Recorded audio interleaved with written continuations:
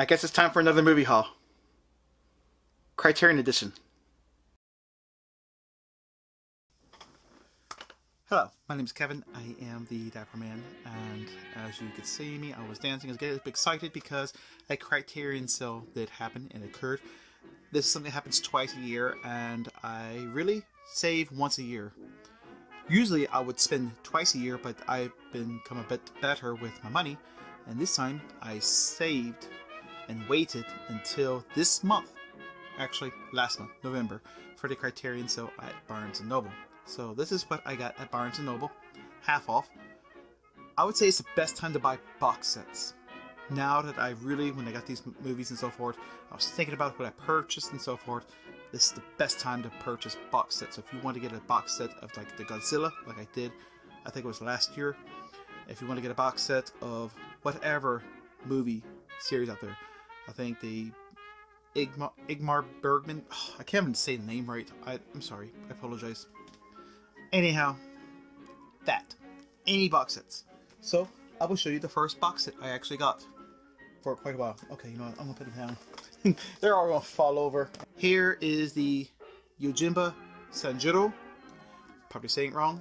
I am not Japanese. I don't have a Japanese tongue. I don't speak Japanese, so this is going to be a bit hard for me.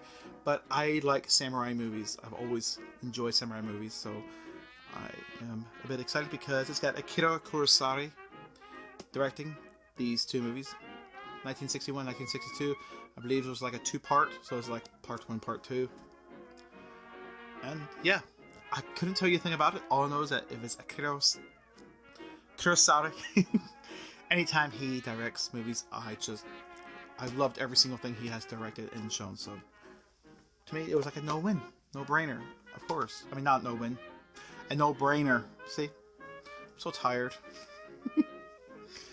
uh, I'm doing this at the dead of night, just letting you know. This is right now at 2 in the morning as I'm recording this because the past three days I tried to record. My next door neighbor is slamming, he is sawing, he is doing every bit of construction. So I realized he won't do anything when it hits 10 o'clock at night. When it hits 10 o'clock at night, he shuts everything down.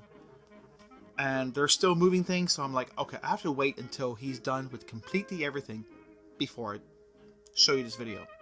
So, there's a reason. There's a reason why this video is pretty late, and how I stay up just to make you a video. Hope you enjoy. Anyhow, all that heaven allows. A movie that I was recommended numerous times. Do not know a single thing about it other than it has Rock Hudson and Jane Wyman. So, you probably know what this movie is. I don't, and I'm okay with that. And I will see it eventually, the original French version. Always wanted to see it. I've seen so much to the Disney's Beauty and the Beast because my sisters. I've always wanted to watch this one, and now I get the chance to watch this one. This one's not silent. For some reason, I thought it was silent. Is there a silent version of Beauty and the Beast? If there is, let me know in the comments down below. I believe there is, but I'm probably wrong. 1946. Can't wait to see how this movie plays out. Here is a movie I remember seeing not all the way through, but I did see it. And why it was in Criterion, I don't know. I mean, I was shocked. The Gunfighter?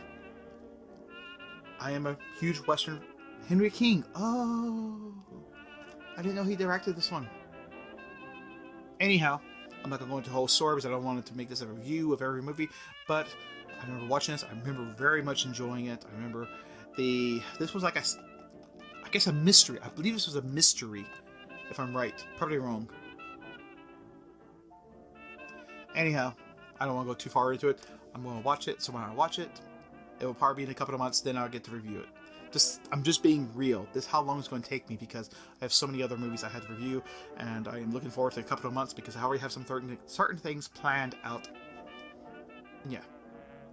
Me going over words. I'm exhausted, tired, but I'm staying up to show you these. This was the most anticipated thing out of. Okay, these last three right here. To me, the last three I'm about to show you is the most anticipated movies I have waited for the longest time. These next two. Yeah, I'm just going to show you the order. I was extremely excited for because I was shocked. I was waiting, waiting. I remember people sending endless emails like, when is this going to become? I'm just going to be a little bit, just a wee bit on a down low of not as thrilled that this movie was not released the same way as the original Godzilla was for the Criterion. But that is the War of the Worlds. I'm going to tell you why. I was expecting not a plastic case. I was expecting when, if I got this in the paper case, I was able to open it and it would be folding out these UFO saucers and so forth. And I know it's not going to do that because it's a plastic case, but to have the original War of the Worlds, I've seen this movie I think about like 10 times, but to see it crystal clear, I know it's Criterion and you do a fantastic job at making the picture to its pristine colors and the sharpness. I'm just, I'm really getting excited. I got a little bit of goosebumps because I'm so excited to see this movie get released and become, get the high definition format that I believe it desperately deserves. Yeah, I, I want to talk about this movie so much, but I'm just here to show you the movies I got for half off the Barnes & Noble Criterion stuff. This is my favorite David Lynch film. I am not a David Lynch fan. I think I've mentioned that before in my videos, especially when you talk about like Eraserhead or Mulholland Drive, whatever it's called. Don't care for.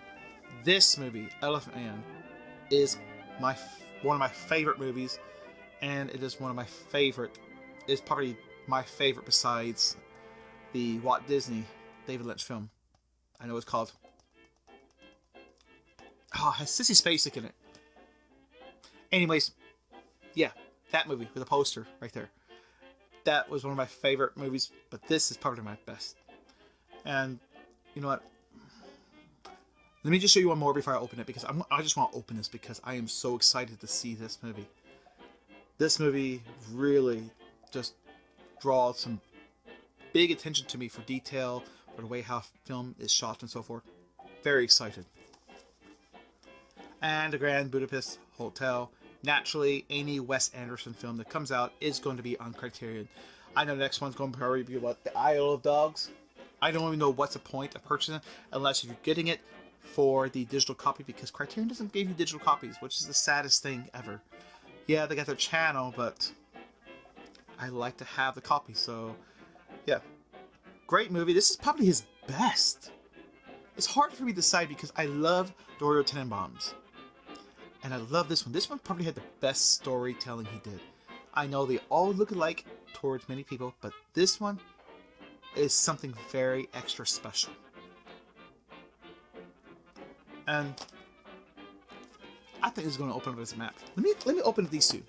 I know I'm getting ahead of myself and so forth, but I just want to see what the inside of Elephant Man looks like because I can't tell you how long I've been waiting for this movie. I had this movie on DVD, and for some stupid reason, it was released with Paramount.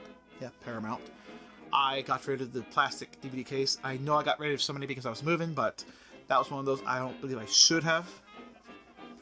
It's a very nice looking. Okay, I was. Ex- they could have put a folder inside to put a bucket inside. Anyways, that's it. So this is like one of those movies you probably don't watch too many times, and I understand. That's probably why, but still, it kind of does bug me a wee bit that it's a very lengthy one too. They're always a bit lengthy, but this one, what's this, 40 pages? 36. So 36 pages inside it. And it has its casing put inside think they could have did a bit better, but I don't mind the case at all. I wanted to open the World of Worlds, but it's plastic and I already know what's going to be inside. See that they have the paper that's glued on. I mean, I don't care. I don't like this glue because if you keep the glue on it too long, it stains right through it. Just hmm, letting you know. These glues that they put with the paper, if you never open it, if you keep it there for too long, it stains right through it because it happened to one of my Godzilla DVDs that opened up and I was like, I never opened it for some odd reason. I don't know why. And anyways, here is how. Oh my goodness, it's folding. It's. Okay. Just so you know, when you open this, everything's to fall out. Here's the inside of it. That's the inside cover of it. So it's to be very thin unless you put the booklet inside and the map. I know every time you do one of these, you got like. Or is it going to be a poster? Oh my goodness, what's this going to be? Okay. So if you want to put this in a framework, you can do that on both sides. So let's get that. And it's got that side. I mean, it's designed so you can frame it, but I never did frame them. I really thought I was gonna more stuff. Oh my goodness, romantic poetry. Here we go. See, that's how you know it's a Wes Anderson film. They got all of these obscure looking things. There's a lot inside of this movie.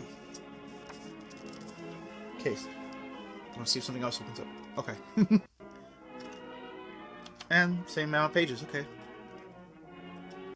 It's got his drawings and so forth. I just can't help. I love his films. It's like every frame you look inside this movie is something that you would just want to frame and put up at your wall.